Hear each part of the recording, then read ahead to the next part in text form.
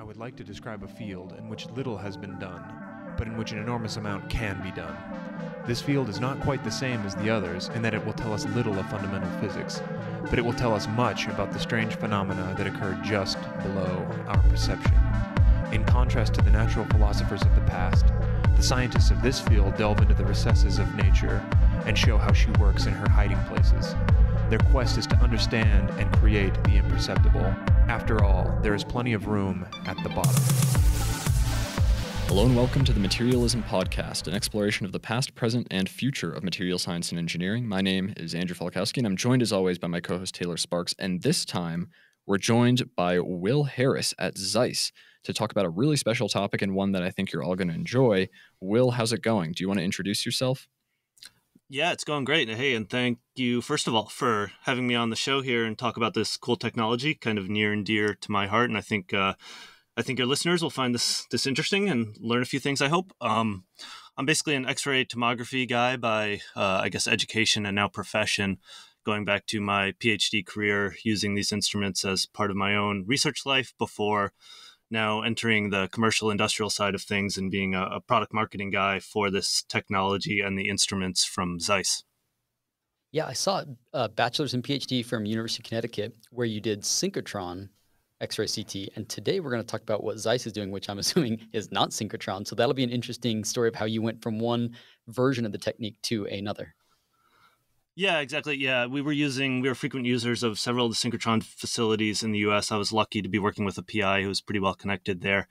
Um, so we were doing, yeah, nanotomography. And then I, I, sort of knew someone who knew someone at the right time and ended up uh, now working with Zeiss. And most of what we do at this point is lab based instruments, although we do still sell some instruments and components for, for synchrotron machines. But um, there's not nearly as many synchrotrons out there as there are other yeah. other labs, of yeah, course. From a market standpoint, that makes sense. Yeah, yeah. So maybe we can, you know, when I when I when this topic came up, I was thinking about okay, CT. Uh, that's a medical imaging thing. What do material scientists have to do with that? So maybe we can start by talking about maybe the motivation for why we'd want to use CT in a, a material science application. Um, just from my perspective, looking at the materials landscape, our materials are getting more complicated. In trying to address all these new challenges, we've had to make much more sophisticated materials, and that's made uh, that's meant that it's a lot harder to look on the inside of those and actually see what's happening. Right? We can, you know, mount them in an epoxy, maybe polish them down and shave them to a cross section, but that's only a two-dimensional view of a much more complicated system. Yeah, that's right. And I would say, you know, to your your first point there, fundamentally the reason that we want to use this technique in material science is uh, to a large degree the exact same reason that it's used in the medical field, which is we want to see the interior 3D structure of, a, of an object or a sample of some sort without the need of actually physically cutting it open, which in the medical world is very obvious why you, you don't want to do that, of course. Um, but in material science, quite often the, the motivators are pretty similar, right? Where we want to see what's going on inside your sample and get a three dimensional sort of depiction of the structures there.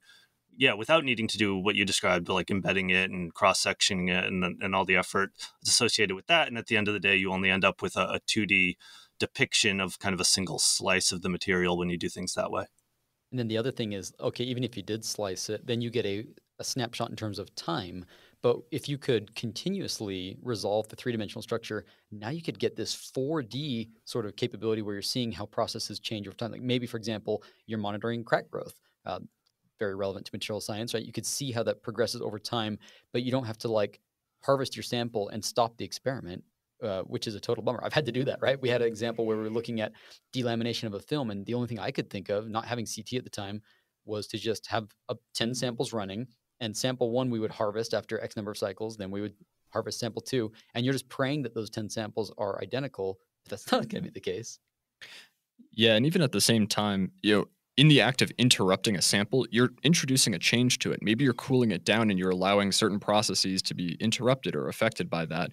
And a number of samples, you know, we talk about okay, you can mount and you know polish it down. Some samples are too fragile to actually do that too. You actually risk changing uh, what you're observing.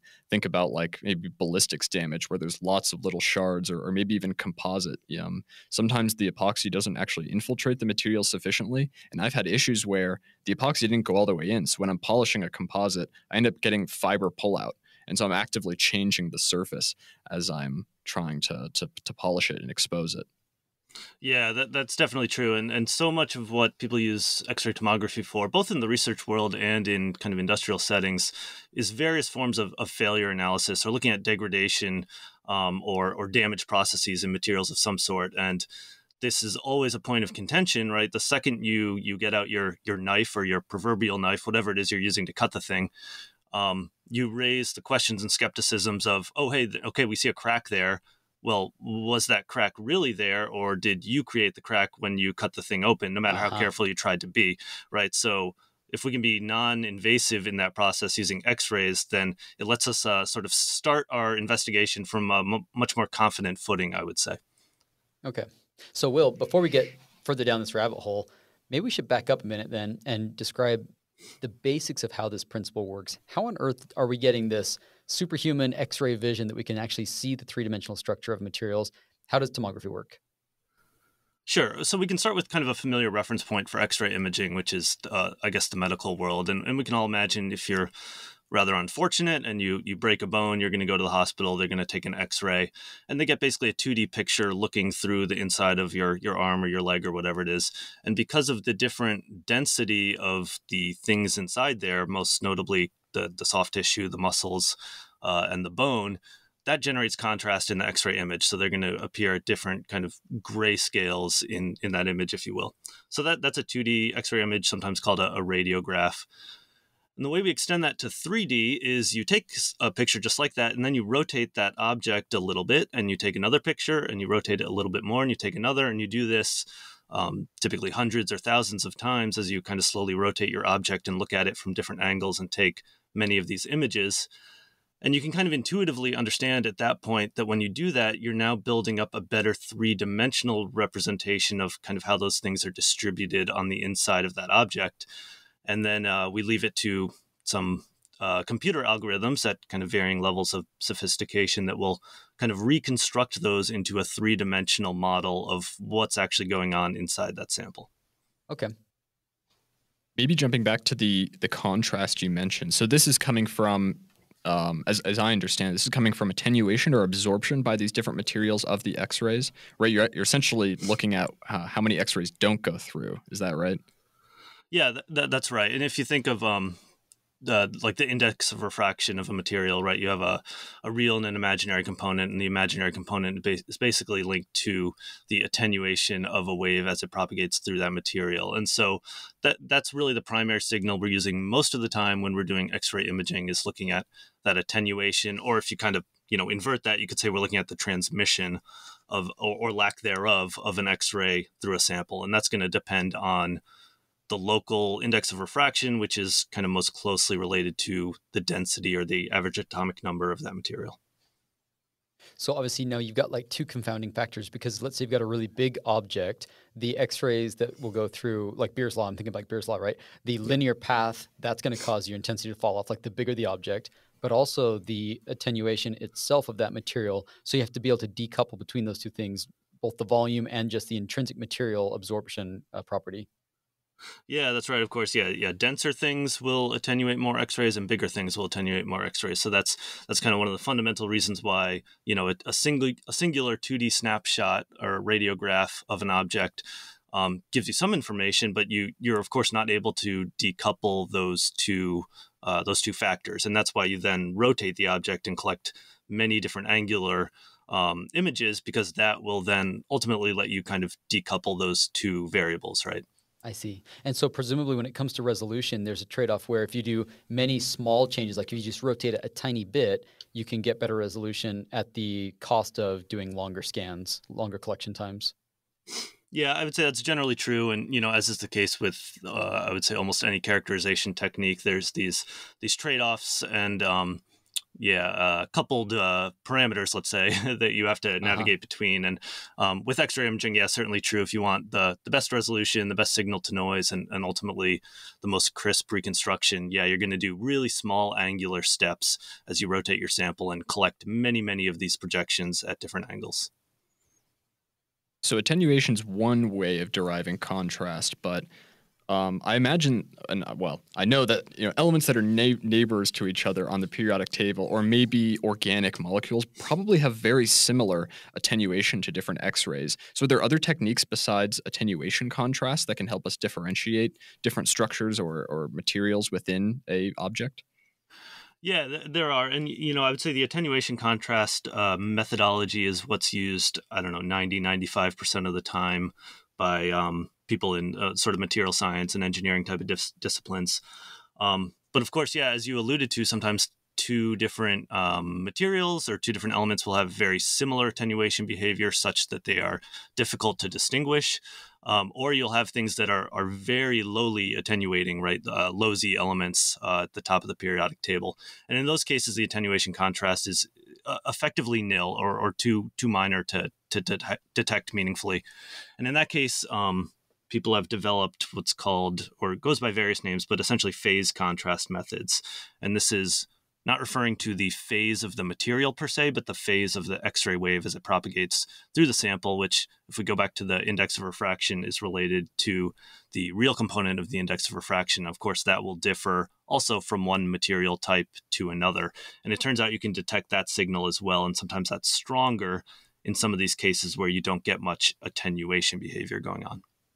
Yeah, I didn't know anything about this when I when I read the review paper to get ready for this episode. I was really surprised. I didn't know that was a way that you could do CT. Um, just reminding our listeners, like if you go back to like our X-ray diffraction, the reason why Bragg's law, you know, won the Nobel Prize, right? You have coherent X-rays coming in, so they're in phase, and then as the electrons, as the radiation uh, bounces off of the surface of the atoms, right? Um, stuff on the surface travels a different length than the stuff that's below it, and so because it travels in a different additional length it becomes out of phase maybe unless you're satisfying Bragg's condition, right? Um, and so coming out of phase, now you have destructive interference. You don't get light coming out. So this is basically the same thing. But tell me, why is there a phase shift coming from the materials? Is it like X-ray where there's some additional path length? Is it something else? Like why why would it shift the phase?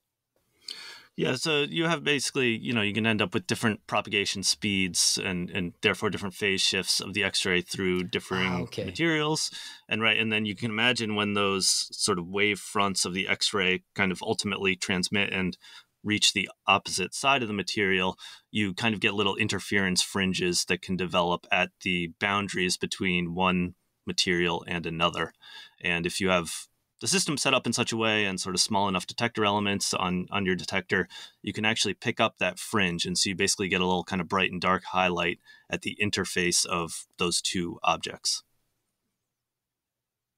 Interesting. Um, so, what sort of I, this uh, naturally probably requires a different sort of CT setup, right? You're not going to be able to just rig your current one to do this. How? Because phase, from my understanding, is very difficult to measure directly. So, how do the, what sort of uh, devices or technology is used to actually make that differentiation? Yeah, so these things come in a few different flavors, and this is kind of one of the aspects of X ray imaging, like so many of these, in fact, that sort of originated at synchrotron facilities, which I, I kind of think of as the incubator of X ray techniques, if you will, before they then start to kind of propagate their way out to lab based implementations of the method. Um, so the, the, yeah there's different setups depending on kind of what type of x-ray beam you're working with and what type of detector and so on but on lab-based tools um, there's i would say principally two ways we can do it. One is kind of what's called a propagation phase contrast method which is you just kind of put an increasing amount of distance between your x-ray source your object and your detector and you create kind of a, a, a, nearly coherent type of beam condition and when you do that you know ultimately you're not detecting the phase shift per se on your detector but rather this interference fringe in the intensity that uh, sort of propagates out for a distance distance and becomes large enough such that you can detect it um, so that's kind of one method, and the other is um, on a different type of instrument using a, a Zernike phase contrast ring. So it's basically a, a little ring-shaped object that's inserted in the back focal plane of your your X-ray projection that's used to introduce a phase shift that again can be detected kind of in a similar way. So that's sort of the long way of saying, yeah, there's there's different flavors of doing it, but ultimately you're trying to convert a phase shift to an intensity difference that you can actually measure. Uh, so so, Will, this has been fascinating. Uh, I learned a whole new way of doing CT, which I didn't know existed. And I think by the end of today's call today, we're going to talk about another one with diffraction. We'll get to that later. Sure. But um, with the X-rays themselves, you know, I'm familiar with X-ray diffractometers where you have, you know, like a, a copper source or a molybdenum source, and so this is, you know, this is producing radiation and it's ideally a single source, but it never really is. So there's this process of filtering and collimation. Do you have similar radiation sources for generating X-rays in X-ray CT? Or is it totally different, or what? How does it compare to X-ray uh, X-ray diffraction? Yeah, I would say not not so tremendously different. I mean, we can kind of broadly bucket things into the two big types of X-ray sources that are used for tomography in in the materials world.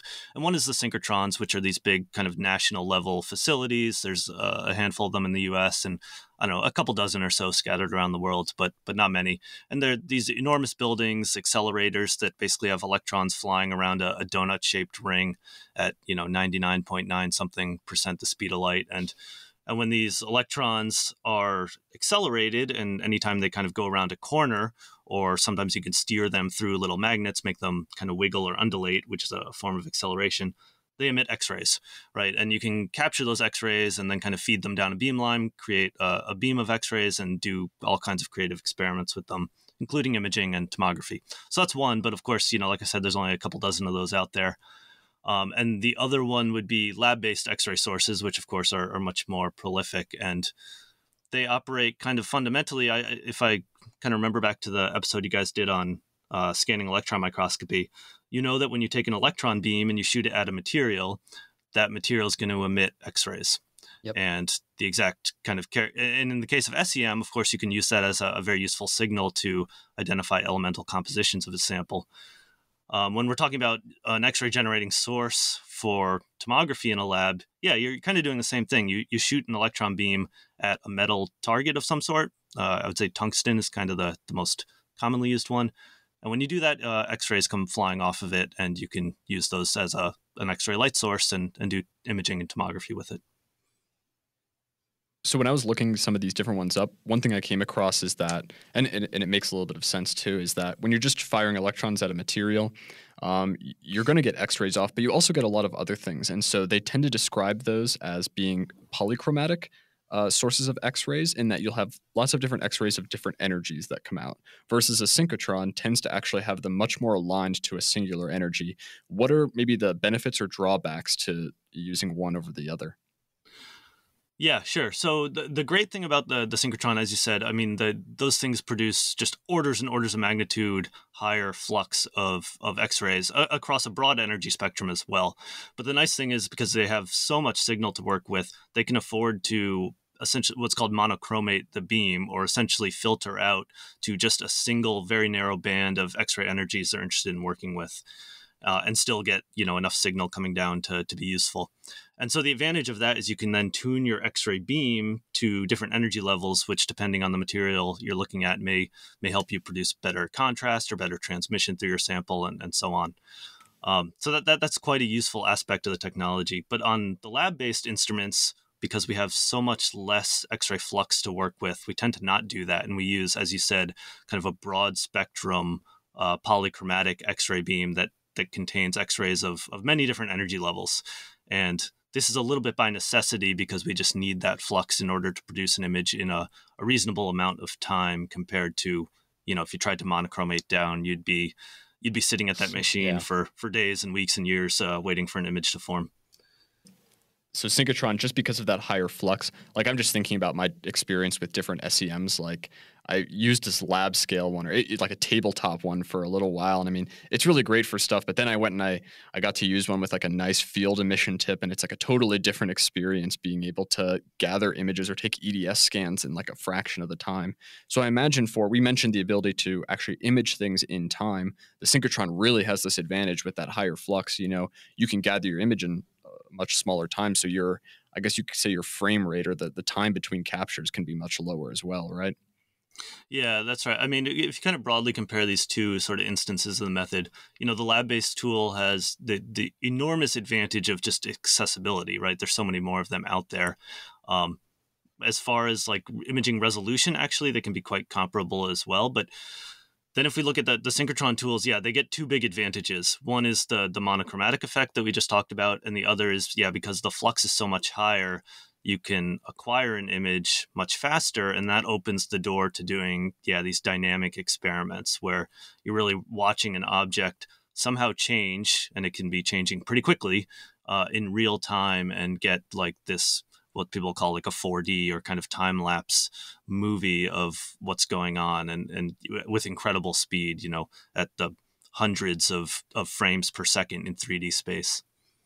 Um, okay well so uh, this has been interesting to learn about so far. We've talked about attenuation versus phase angle measurements. We've talked about how on earth you generate the X-rays, but the big elephant in the room for me is how on earth you stitch these back together to get a three-dimensional object. And I asked because 12 years ago I was looking at a company and uh, I almost took a job doing this thing. And when I got into the math of the reconstruction, it was pretty gnarly. So do you want to talk about that? How much of that you do as a human versus how much you hand over to some sort of algorithm to do it for you? yeah, it's a really good question. And um, I guess the good news here is that as a, a, practitioner of the technique and a user, and you know, a scientist who really wants to just use the machine and get some some good data out of it, uh, there is virtually zero knowledge requirement for understanding what's going on in the actual nuts and bolts of the reconstruction. And you know, a lot of that technology has been pretty well established for quite a while. Um, using uh, the industry standard for a long time has been a technique called filtered back projection. And if you to kind of help people paint a, a mental picture of what's going on there if you can imagine all of these angular images where you've essentially taken x-ray snapshots of an object from you know many many angles as you've rotated it around if you can imagine taking all those images and kind of smearing them back towards a central axis of rotation, you'll sort of naturally start to build up a, a depiction of the the innards, if you will, of, of that sample and the di- distribution of different density of materials inside it. So, as the name suggests, you're kind of back projecting those images uh, into sort of the the three dimensional space.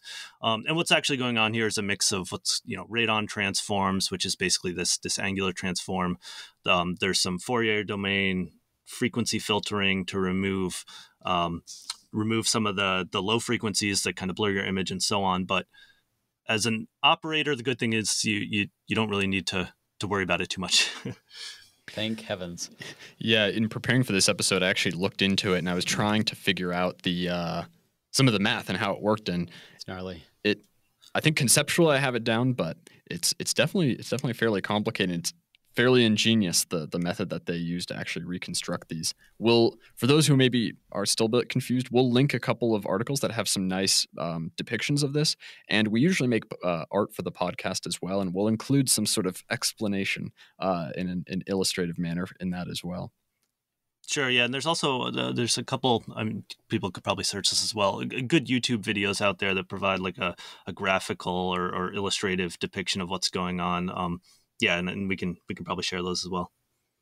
So, Will, in the time remaining, let's shift gears and talk about applications of this to material science, because that's what our audience is going to want to know about. Like, wh- why should, if somebody works in batteries, or if they work in photovoltaics, or if they work in high strength materials, where would this technique be useful to them? What sort of information could they get from it that they couldn't get from anything else?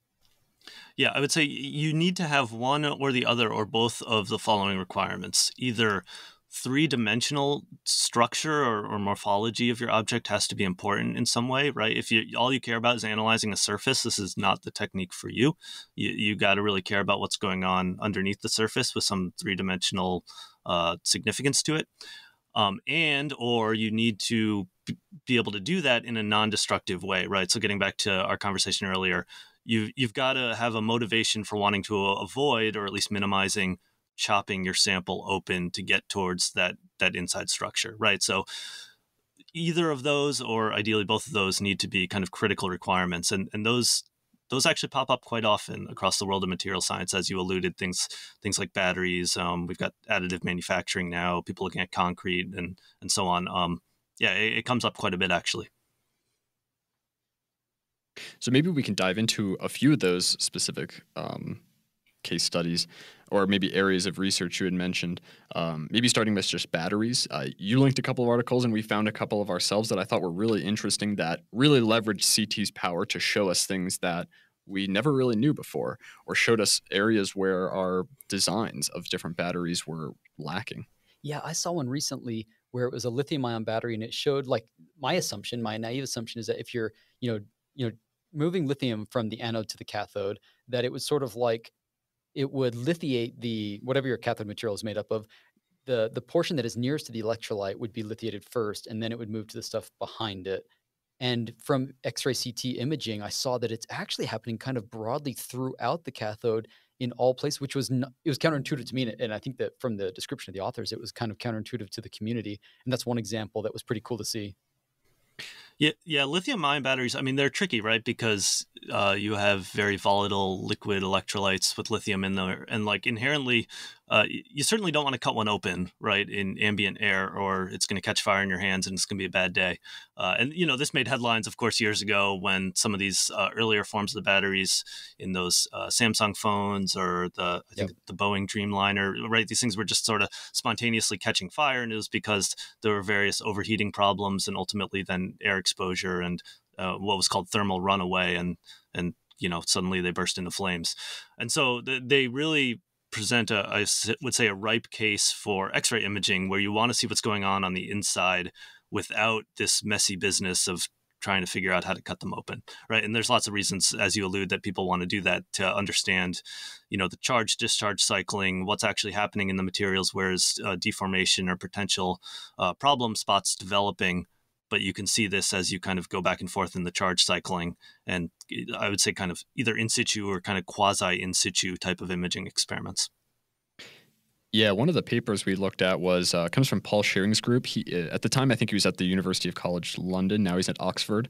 But they studied this thermal runaway in lithium-ion batteries, and they did something really cool where they actually had a thermal image recording at the same time as they were doing synchrotron X-ray real time. So they could then correlate the actual temperature change with the voltage change they were inducing, with then uh, physical change that was happening within the material. And so they could actually see various stages of delamination within the battery cell and then correlate that to changes in temperature.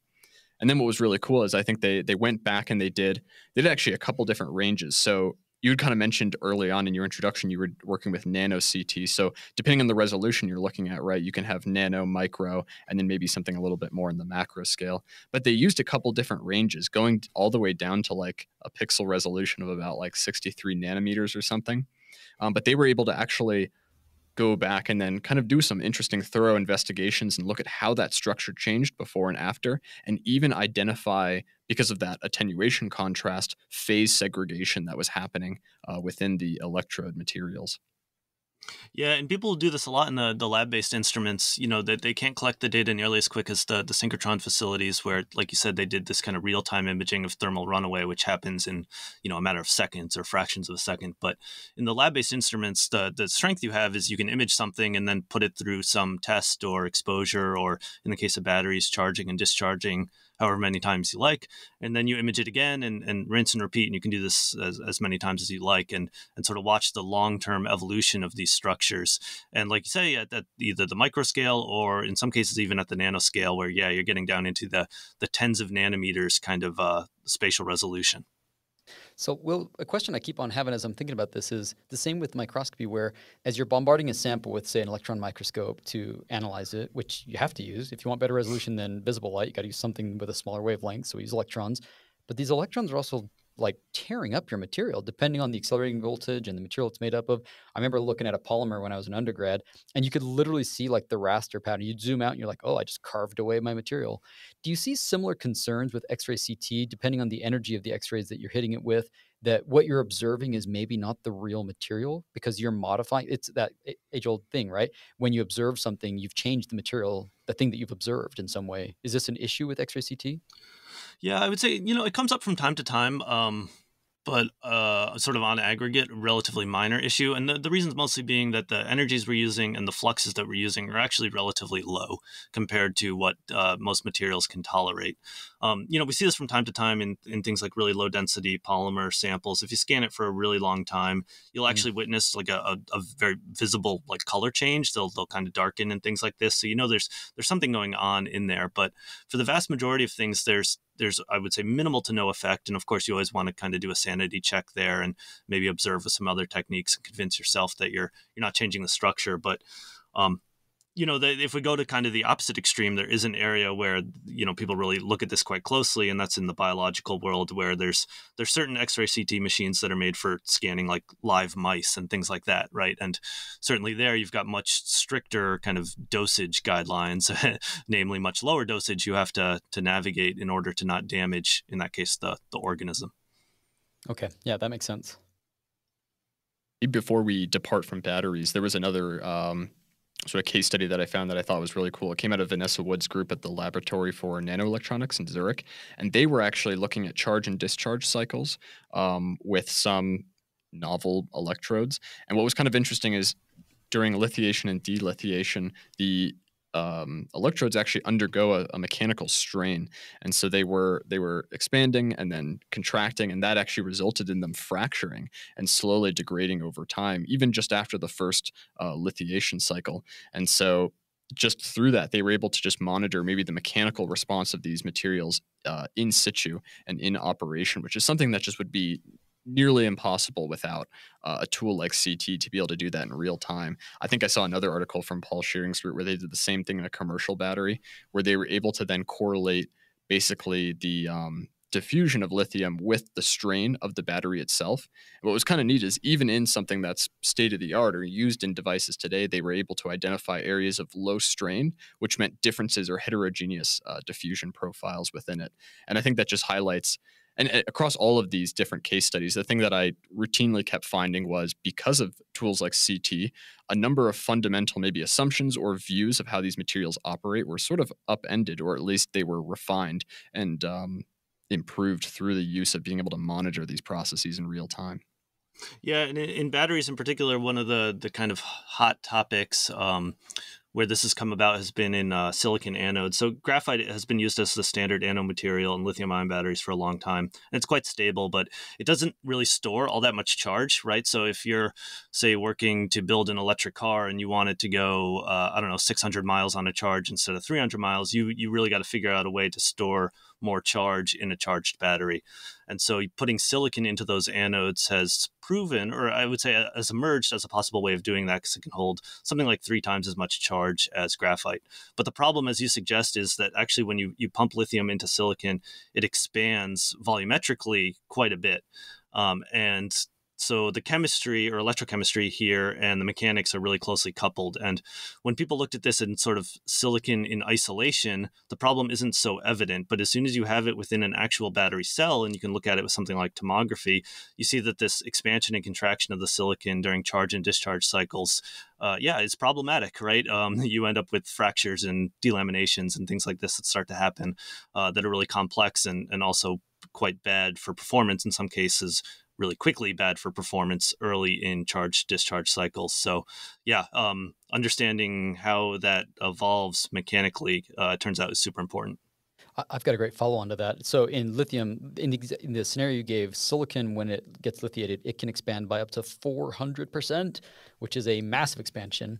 Um, so I would assume that's pretty easy to see because it's growing a lot. But this kind of gets to my underlying question, which is what are the resolution limits with X-ray CT? And I know that that's a complicated answer because it depends on the energy you're using. It depends on the size of the sample. But do you want to talk a little bit about resolution? Yeah, sure. Yeah, it, it is certainly a complicated answer, and um, you know, it, it, depends a little bit on the the architecture of the instrument as well. Um, you know, what type of detector you're using? Is it kind of the industry standard, sort of what's called a flat panel detector? Basically, looks like a, a flat screen TV type of thing that you're projecting an image onto.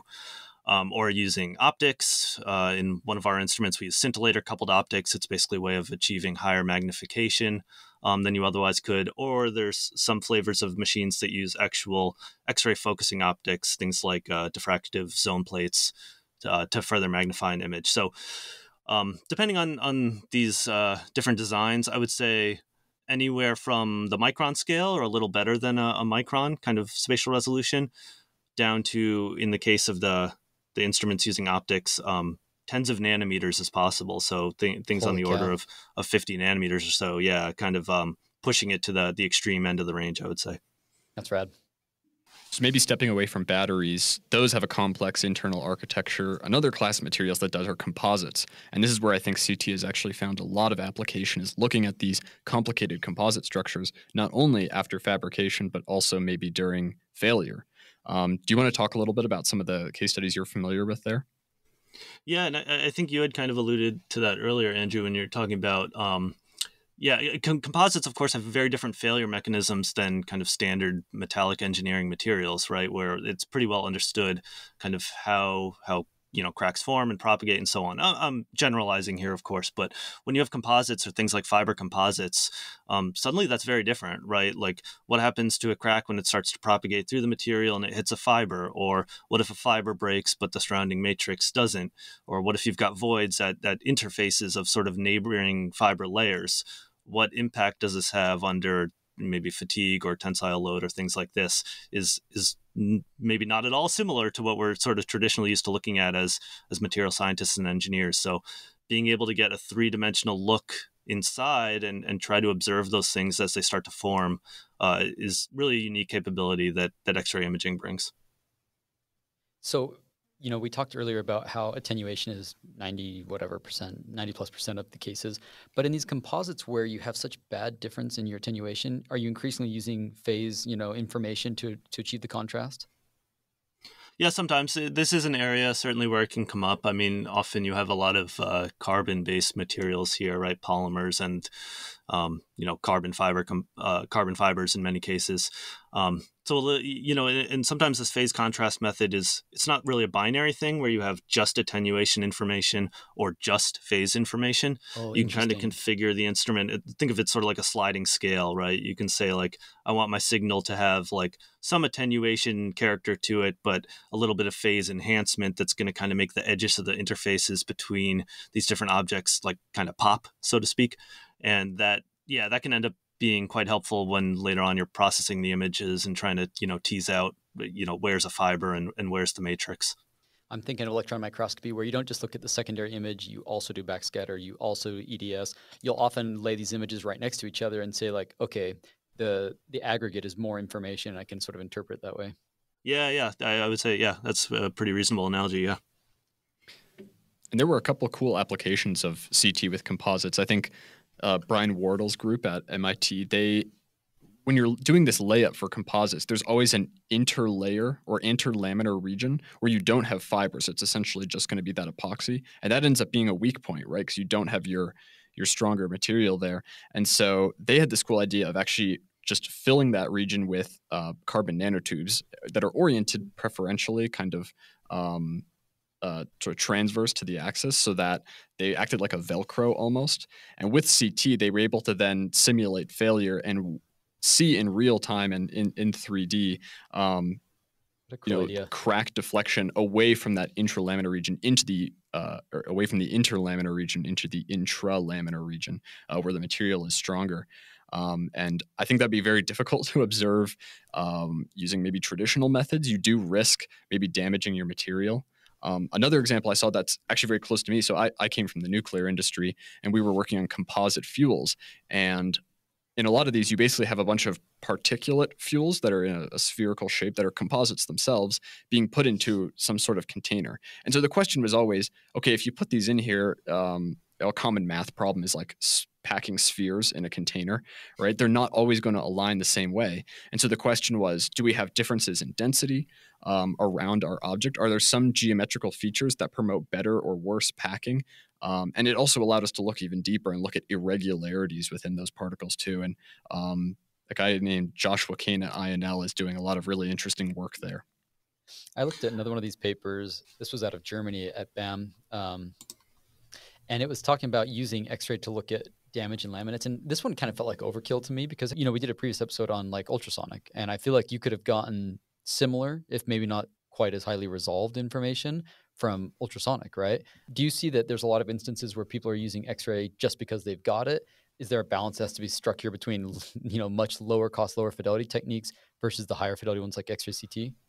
Yeah, I, I, I think that's fair. I mean, these things are complementary. Certainly, I, I you know I wouldn't advocate one is better than the other per se, and and especially in the world of composites, we do see you know ultrasound being you know it's quite a prevalent technique, of course, and um, I would say really where the X-ray technique comes in is if you really want to get down to kind of the fundamental um, sort of uh, matrix and you know filler material, whatever that may be, fibers, kind of level length scale, and understand at a very discrete level what's happening there to a crack or a void or you know a fracture in an individual fiber and so on, and draw some kind of steps to a better phenomenological understanding of like what's actually happening in the mechanics that would lead to things like you know delamination and so on that you'd certainly pick up with ultrasound. So um, again complementary right? So maybe helps to enhance sort of the the research level understanding of what's actually going on yeah that makes sense and I, you know the composites world that's being used here is, is pretty broad i've seen even some articles looking at different concrete mixtures, which are themselves composites and are actually becoming quite complicated based on my cursory glance. But maybe we can shift over to 3D printing because I think that's where CT has found a lot of applications, specifically in, in laser bed printing, where defects become important, right? Companies produce these parts and they want to maybe use CT to either diagnose printing parameters or also maybe scan parts um, before they're put into production to look for certain flaws. And I think there was some really cool research there. Um, yeah, there's been a ton going on in this area, as you mentioned. Yeah, it's a, a lot of um, yeah laser based uh, laser powder bed based methods where yeah you basically have this this powder of small particles of metal and a laser goes over it in some certain pattern melts those areas and you do this layer after layer and you build up a 3d object um, essentially sintering it or micro sintering it layer by layer and what people find, of course, is the the CAD model that you give that machine and tell it what to build, and it can be incredibly complex. This is one of the advantages of of 3D printing or, or additive manufacturing is to build like these really complicated 3D geometries. What you tell the machine to make is not always what it makes, right? And so you can imagine you you give it some some crazy structure, but then I don't know because of residual stresses or local heating effects that evolve during that printing process, you actually accidentally get some deformation in some area that pulls on some other area and, and so on, and suddenly you get something that's a little bit di- different shape than what you intended, and if that's happening somewhere inside your object, you're never going to see it uh, unless you're looking at it with something like X-ray tomography. Yeah, I remember when we did a 3D printing episode, there was a whole kind of um, aspect to actually not necessarily CADing your part to the true geometry, but CADing it to the as printed geometry. Yeah. And that's really hard to do, right? Like you, you, usually do like a sweep. So you print a bunch of standard geometries that are easy to measure, and then you kind of back calculate or estimate shrinkage along different uh, axes, and that's how you update it. But with CT, you can directly see um, to a, what sounds like a very good resolution the sort of shrinkage and where that shrinkage happens in your part, so that you can adjust uh, it from there. But one of the things that I thought was really cool is uh, in, in, some of the papers I was reading is we understand that things like pores or maybe surface roughness or other sort of geometric issues can be problematic for the material. But I think up until now, there was some assumption that, okay, you know, porosity is bad, we want to remove it. But using CT and kind of correlating that with the performance of these materials, there was a lot of interesting work showing that no, not all porosity is bad, or some porosity is worse than others, and that's what we sh- what we should be targeting. Um, for instance, they were showing that below a certain size, right, the pore actually doesn't matter too much for strength, but it does actually have an impact on ductility. And so if you're scanning a part for quality, right? The the lower resolution you go, I imagine it takes much longer to actually complete a scan. But if pores beyond a certain level or below a certain threshold don't matter, you can oh, tune yeah. your pixel cool. size to that. Um, the other thing was that some pore types were problematic, and so they were able to uh, correlate those with printing parameters and adjust and optimize those to remove those specific pore types. I think the last one that was interesting is that the, the location of that porosity matters. So for like fatigue properties, they found that pores within one millimeter of the surface were particularly detrimental for basically being flaw initiation sites. And so being able to identify those as the root cause of your fatigue properties was uh, able to be done through X-ray tomography.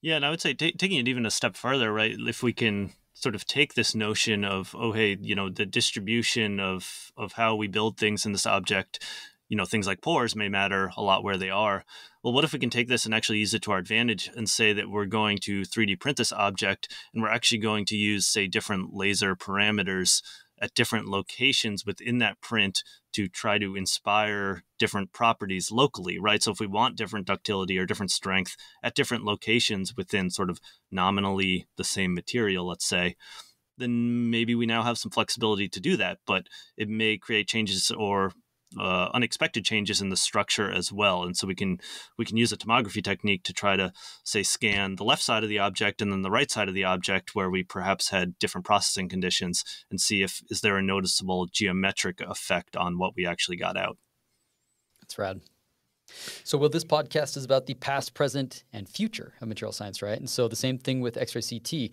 I'm excited to learn about what's on the horizon. So, we kind of have a couple different areas from new contrast methods to time lapse, you know, imaging and new reconstruction algorithms. Do you want to talk about new contrast methods, in particular using diffraction, maybe as a contrast mechanism? Yeah, so this is one that's come about. Um, well, I guess I would say overall in in the last decade or so, and it's been now on a a lab based instrument, one of the ones we offer from Zeiss for, I guess, the last six or seven years. Um, so I, I, guess many people know X rays in the lab uh, for XRD, right? A diffraction based technique that you can use to look at, at crystal structures.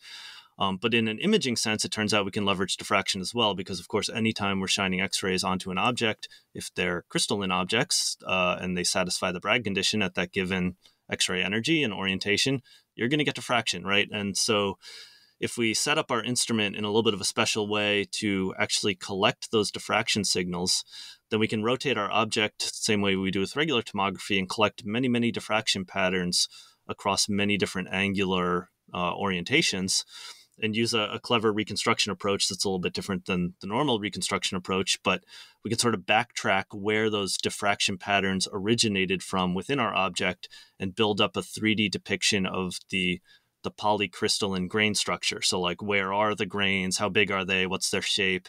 What's their crystallographic orientation? And that's info that we, we just never were sensitive to previously when we were just looking at attenuation signals. So this is like 3D EBSD. I mean, I, am guessing you're probably aware, but like folks like Tresa Pollock at Santa Barbara have like their tri laser where they basically ablate it and they're doing EBSD as they go, and so they're able to destructively carve away into your material and reconstruct what the material grain structure looked like because they're doing essentially three-dimensional EBSD. But the catch is that they are ablating it as they go, and you could probably achieve the same thing. I don't know with the same resolution, but the same principle without destroying it with this uh, sort of approach. Yeah, absolutely. Yeah, yeah. So it's it's a good comparison, right? If you're familiar with EBSD, which is natively a 2D technique, which, as you say, you can extend to 3D if you sort of slice up your your object as you go. Um, yeah, we're kind of getting, I would say, similar type of information in 3D but doing it in a non-destructive way. And there, there's some boundary conditions and trade-offs there, of course. Um, as you mentioned, EBSD can get to higher resolution, right? Can see smaller grains and, and things like that. Um, but the non-destructive method using X-rays and what we call diffraction contrast tomography uh, can be quite useful if you want to do kind of like what we were talking about before these sort of time evolution studies where you you look at an object numerous times through some changing conditions. And one of the kind of obvious ones that people have been exploring in these early days of DCT is looking at a grain structure and then putting typically that, that metallic system through some heat treatment. And of course, we expect that to, to change the grain structure, re- refine the grain structure, and then we can look at it again and actually get these kind of before and after pictures in 3D of exactly what's happening and changing there.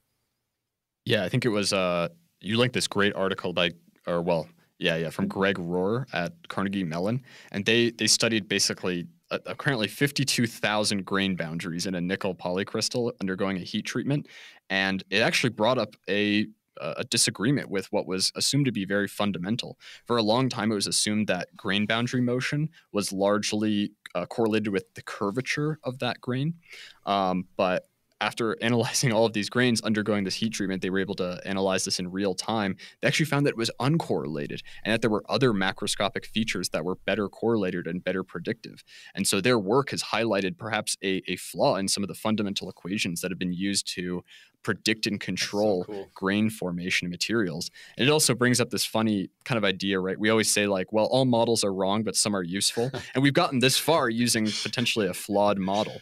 Um, and so I'm, I'm really excited to see, you know, with introducing these diffraction methods and being able to understand materials and how they evolve in real time at such a, a resolution that's never been done before what sort of new things we can we can uncover and i think um, taylor do you want to talk about that other interesting case study that he linked well, yeah, there's the one that he linked, and another one I found. It was just this August. It's relevant, right? They found a fossilized dinosaur egg that had an embryo that was intact inside of it, and like this is such a one of a kind. Like you cannot reproduce this, and if you want to investigate it, like that's the type of tool for X-ray CT. Uh, the, the, other one he linked is a, a similar situation where it's a meteorite, right? You don't just like call up Sigma Aldrich and say, "I'd like a chunk of meteorite, please." Um, these are rare, and so if you want to investigate them non-destructive is a, is a big deal there and great tool to do it. Yeah, and I think that that particular case, which was um, a sample and a little bit of work that we did with uh, some folks at UT Austin, was um, I believe the first instance of using this diffraction contrast method to map out internal grain structures within one of these little uh, meteorites that was I don't know it was very small you know two three millimeters in size or, or something on that order. Um, but the first instance of actually non-destructively seeing what's going on with the grain orientation and distribution inside the object. So yeah that was pretty exciting. So so another so that that's a new contrast method right? But maybe some of the other one is we talked a little bit about being able to monitor things in real time but as the technique has developed and as we've been able to take these images faster, I imagine there's all sorts of new um, ways to capture different processes uh, in, in, real time now because of CT as well. Yeah, that's right. And, and people have gotten pretty creative, I would say, right? There, there's kind of some obvious things you can do, which is when you mount the sample within the machine, you can put little rigs in there that will either, you know, pull it in tension or put it in compression or, you know, raise the temperature or lower the temperature of it and so on. Um, some people have built little in situ electrochemical devices to do uh, kind of micro scale or sort of simulated battery experiments, if you will, um, or corrosion and so on. So the, the, list goes on and on. I mean, that's kind of one of the great aspects of the the technique in general is you know you don't have the constraints of say like a, a vacuum environment that you need to consider the way you would with like an electron microscope or, or many other techniques. Um, and you also have like a fair bit of uh, just physical space, kind of flexibility within the instrument to work with. So you can you can do these types of things, you know, poke or pull on your your sample and, and watch what actually happens. And yeah, there have been a bunch of great papers, and one in particular recently that came out, um, a collaborative effort from some of your colleagues at University of Utah uh, and Sandia to look at um, an additive manufacturing sample, going back to what we were talking about before, and put it through compression and look at how cracks were propagating there because due to the microstructure they were creating, it was not necessarily the same as the way cracks propagate in kind of a traditionally manufactured sample. So that's uh, yeah one great example of, of you know the the insights that you get from from doing this kind of non-destructive time lapse imaging. Another great link you've provided is on dendrite growth, right? So I show my students every year in my intro to MSE course these videos that show at least like the two-dimensional cartoon schematic of how dendrites grow, and it's it's a fascinating topic, right? Because it's all about um, if there's a protuberance, right? So if there's something random happening, does it extend into a region that causes it to redissolve, in which case you won't get dendrites, or does it uh, augment that growth. And so then it just continues to grow and you, you see the growth of these dendrites. And it's one thing to show them a cartoon, but how cool to actually see in this link the dendrites growing in real time in an actual three dimensional structure. Very, very cool. Yeah, what was interesting about that particular paper is that they they found that the the 3D model for modeling dendrite growth in a solidifying metal was actually it differed from the real time measurements. Wild man. Yeah, like, major shout out to to Peter Voorhees at Northwestern. I mean, he's really been the pioneer of of a few of those experiments. And yeah, to, to, your point exactly, the the visualizations he's produced as a result of those studies that really show they, you basically get these movies that almost look like computer generated animations, right? Of of dendrites kind of growing in real time in the the, the sort of time span of seconds. Um, that I, I think nothing helps us better to understand really physically what's going on there than that that direct visualization of it. I mean, that's kind of right. The science is based off of this. Hundreds of years, it's been about what we can observe. And once we can observe things, we hypothesize. And what we have with micro CT, well, X ray CT, is a new observation medium, a really powerful one. Okay, so the last thing we want to talk about is new reconstruction algorithms. You've talked about, you know, filtered back propagation. You've talked about, uh, what is it, radon tomographs? What are they called? The radon transform. The radon transform. uh, are these sort of the best in the biz? But are there new things coming out now? What what's in happening in the world of reconstruction algorithms?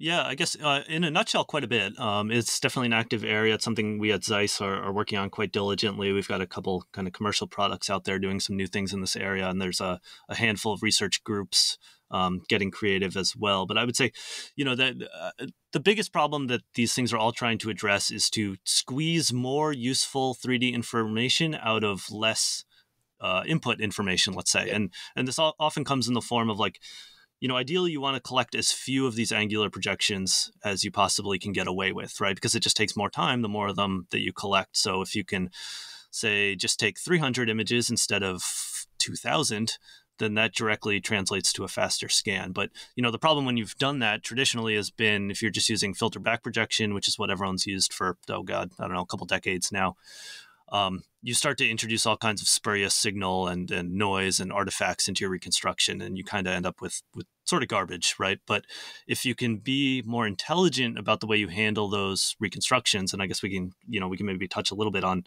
uh, at least some of the methodology there. You can potentially end up with similar quality or perhaps even better quality data at the end than sort of that that baseline sort of long scan case that people are, are used to doing traditionally. And so maybe we can dive right into it. One of the articles he provided was Zeiss using machine learning to actually augment this reconstruction. And the results in the paper were phenomenal. They show, you know, they do 150 scans or something and then 600 different angular scans. And they show that with the 150 scans, the um, the reconstruction method that Zeiss developed actually it looked better than even the 600 scan one, um, using only 150 scans. And I thought it, it looked you know very it looked great. And so, can you talk a little bit about the development of that and where where that's kind of going? Real quick, I just think it's funny that we like cannot do an episode without talking about machine learning. I'm sorry, folks. Me and Andrew just love it. yeah, I mean it's it's certainly everywhere, right? I, I, guess it's no surprise that it's made its way into X-ray imaging amongst uh, just about every other technique in material science these days. And I and I'm not a machine learning algorithm guy, so um, probably beyond me to get into the the real nuts and bolts of it here. But you know, fundamentally, what we're trying to do is, yeah, get get high quality data out with less projections, and you run into two main problems when you collect less angular images during your tomography scan. You get um, increased levels of noise, and that's just kind of like random shot noise, Poisson noise that you get in any X-ray imaging technique. That's just going to be more prevalent when you have uh, reconstruction based on less images. And the second problem you get is um, kind of an undersampling problem, right? So anyone who's done tomography before knows that if you don't collect enough angles, you get these kind of like streak or sort of ripple-like patterns in your reconstruction yeah. that aren't aren't truly random, right? It's this kind of almost sort of blurry, kind of wave-like looking thing in in your reconstructed images, and that's because you you haven't sampled enough of that that angular domain. Um, so it turns out we can train a machine learning model to pay attention to both of those predominant sources of uh, what I'll call just inaccurate or spurious signal and be able to tease them out from what's actually from one or the other of those problems and then what's actually signal from the sample and do a pretty good job of, of removing those those artifacts and noise and so you end up with a, a pretty crisp and clean and low noise reconstruction even with relatively few images and yeah i mean the the results uh, i would say to echo your point are, are sometimes surprisingly good, right? Um, it's still kind of early days of this technique, but we, are definitely uh, surprising ourselves over and over of um, the quality that it produces with relatively little effort. Are there are there issues with maybe you know finding something that isn't there? Are there there issues where maybe the noise uh, overcomes it, or is it's interpreted in the wrong way, and maybe a feature is, is is created in these reconstructions that that isn't actually present in the sample, or you know from based on what i was reading in these articles it's it, they're using a somewhat deterministic approach. It's not just feeding a big network. And so i think you can avoid by kind of tailoring the structure of that to the actual problem you can avoid kind of hallucinations is what they're calling it yeah. but do you still find that in in some of these new reconstruction techniques? Yeah I, I mean it's an entirely valid question right? And um you know, I think any diligent scientist, uh, especially if they're starting to work with new materials or changing their methodology a little bit, will need to go through some validations to convince themselves what they're seeing is is you know physical and reasonably representative of their sample. But you know, if I kind of take a step back from there, the the way I always kind of look at this is well, you know, as we discussed earlier in the episode, probably you nor I nor many, many people using X ray tomography could derive in detail how filtered back projection reconstruction is done today right? And that's just because this has been used for so long and there's so much collective experience in the community that we kind of know what happens in the reconstructions. We've got enough intuitive understanding to be able to look at them and say, okay, I think that's physical, that might be an artifact, and so on.